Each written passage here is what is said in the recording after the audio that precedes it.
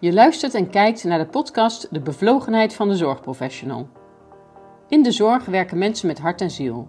De waardering, de toekomst en de ontwikkelingsmogelijkheden binnen de sector zijn onderwerpen van gesprek. Vroeg of laat krijgen we allemaal met de zorg te maken.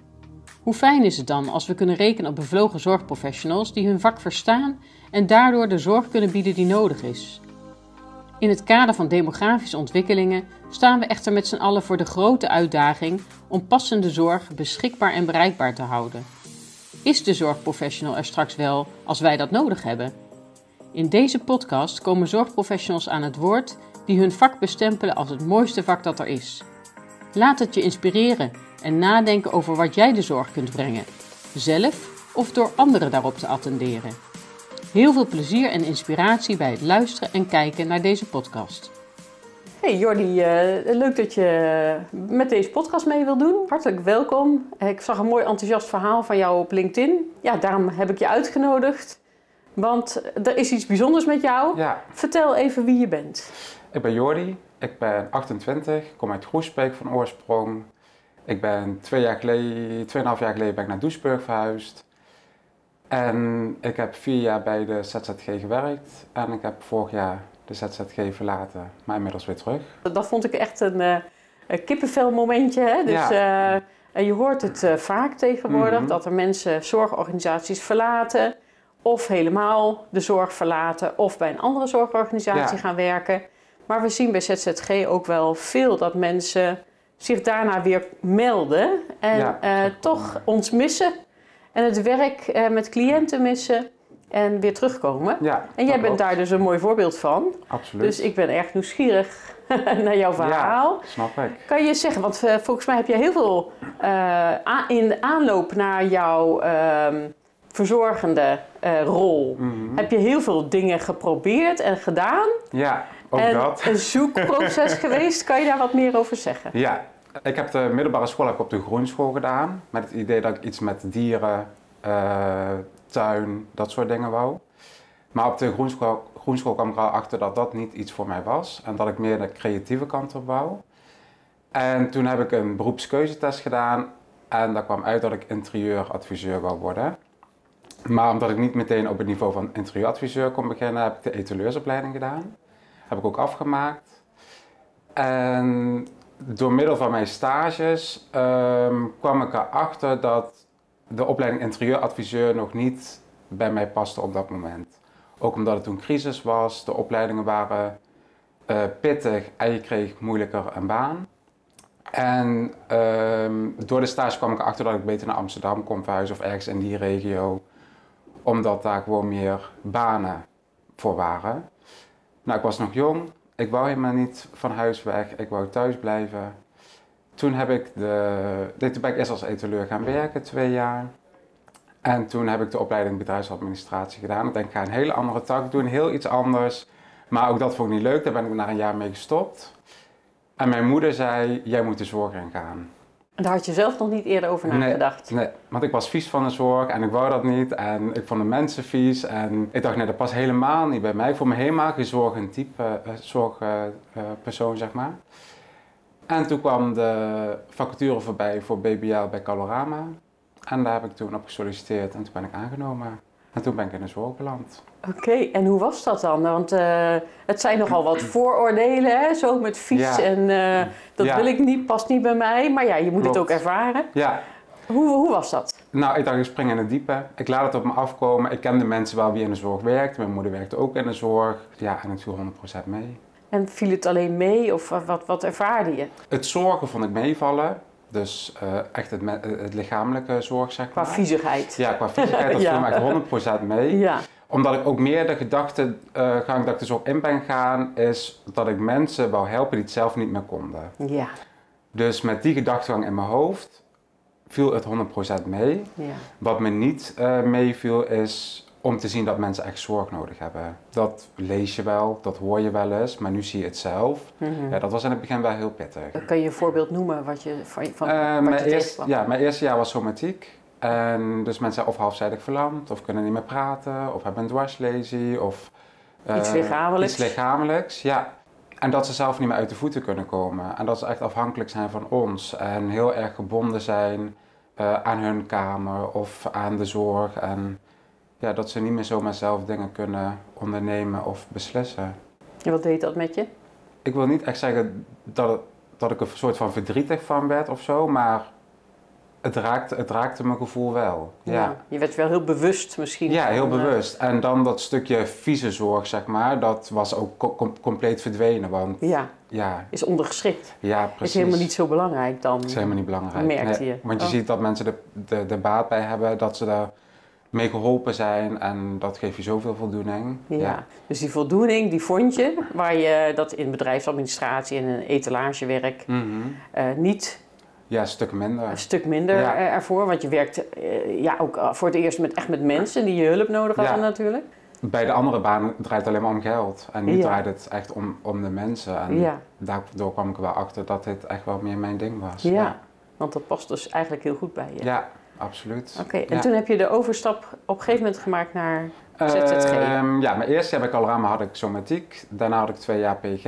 Maar ik had ja, totaal niet naar mijn zin uh, bij Calorama. En in mijn examenjaar toen dacht ik, ja, nu is het klaar. Ik ehm, ga ergens anders solliciteren. Ja. En toen zag ik een factuur voorbij komen van ZZG op de kloostuin, een 3IG-functie. En ik dacht, ik ga erop solliciteren met de vraag of ik mijn opleiding mag afmaken. En dat kon, dat nog. Oké. En toen hoefde ik nog maar uh, twee maanden mijn opleiding te doen. Vier examens. En dat had ik allemaal gehaald. Oh, fijn. En uh, ik kon meteen in dienst blijven. En dat is jou beter bevallen? Ja. ja. Waar, waar lag dat verschil? Het kleinschalig wonen. ZZG, uh, toen bij ZZG kwam werken, dat was het kleinschalig wonen. Hadden we acht bewoners. Um, dus veel meer aandacht voor de mensen. Maar ook de hele sfeer. Um, ik had het idee dat ZZG meer naar me luisterde dan uh, bij mijn vorige werkgever. En ja, ik kwam meteen in een warm bad terecht. Ook qua collega's, bewoners. En oh, toen dacht ik, ja, dit klopt. Dus daar voelde je je goed. Want ja, je werkt op een woonlocatie, hè? Ja, ik werk op een eh, woonlocatie, ja.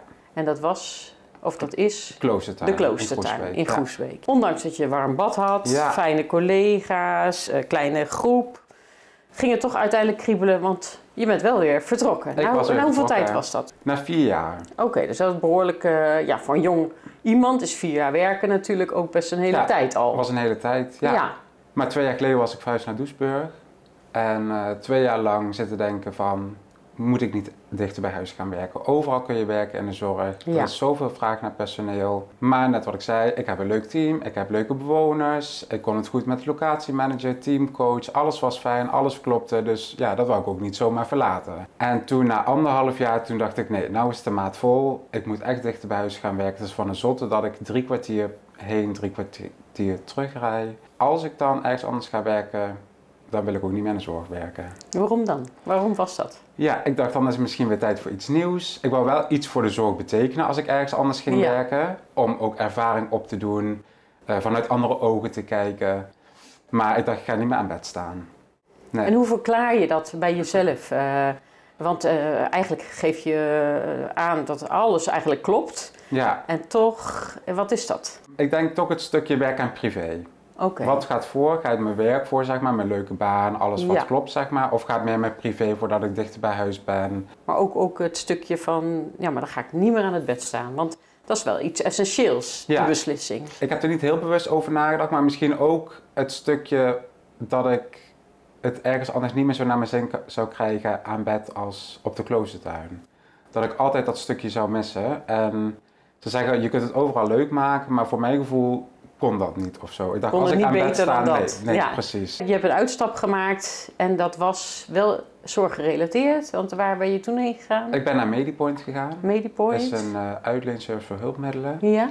Um, kwam ik ook terecht door een loopbaancoach van ZZG, daar had ik gesprekken mee gehad. En mijn idee om daar te werken was dat ik toch iets kon betekenen voor de zorg, want hulpmiddelen zijn heel belangrijk in de zorg, maar niet die directe zorgverlening uitoefenen. En wat mooi, want je zegt dat je hebt over een loopbaancoach. Ja. Eh, hoe, hoe is dat uh, in werking gegaan? Want dat, dat kon dus. Je, je had de mogelijkheid om zo iemand in te schakelen. Ja, ik was heel open naar de locatiemanager, dat was ook onze teamcoach op de kloostertuin.